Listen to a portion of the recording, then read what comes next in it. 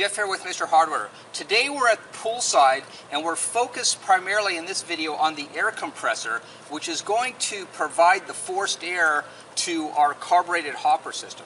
Now the side of me here is an air compressor and it's very important to understand um, the, the features of the air compressor that are going to be able to drive the correct amount of airflow to the uh, carburetor hopper. The first thing you want to want to note on this air compressor is the size of the air compressor.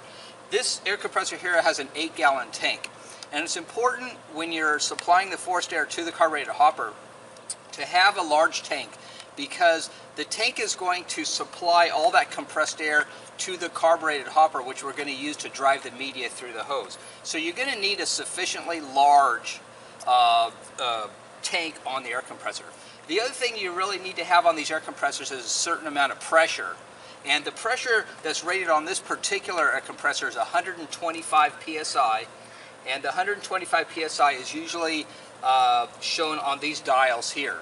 Now that pressure is going to be too much pressure if we drive it directly to the carbureted hopper. So therefore, in this case, we take the 125 psi pressure and we step it down through our regulator, uh, which is the subject of a subsequent video, and that regulator is going to supply the needed pressure and airflow that we need to drive the carbureted hopper. So again, on this air compressor, we have an 8 gallon tank, we have 125 psi.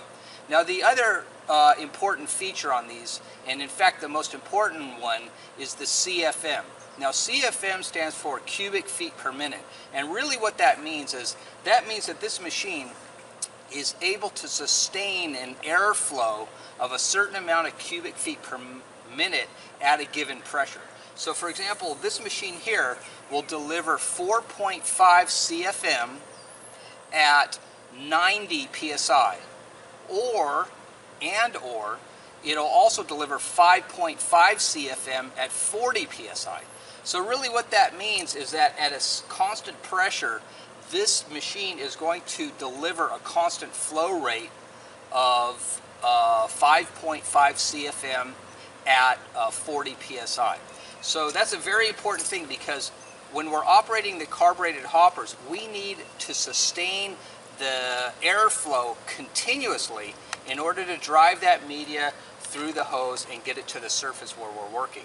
So the most important metric here is not just the, the size of the tank and the pressure, but also the CFM. So please do some research when you're looking for an air compressor to make sure that it has a high enough CFM to deliver the airflow to your carbureted hopper. Now, you're going to notice too that um, as the tank fills up, the 8 gallon tank fills up with air, it's going to transfer or discharge this air to the carbureted hopper. It's going to reach a certain level in here when the air goes down to where the motor is going to kick in, and that's normal. That's called the cut-in uh, pressure. So these machines are going to cycle in and out of the motor, in and out, in order to maintain that cubic feet per minute at that pressure. So while you are pulling the trigger and working with your carbureted hopper, the air compressor is going to um, feed the air to the hopper and the motor is going to kick in and out and it's going to maintain that uh, airflow to the machine.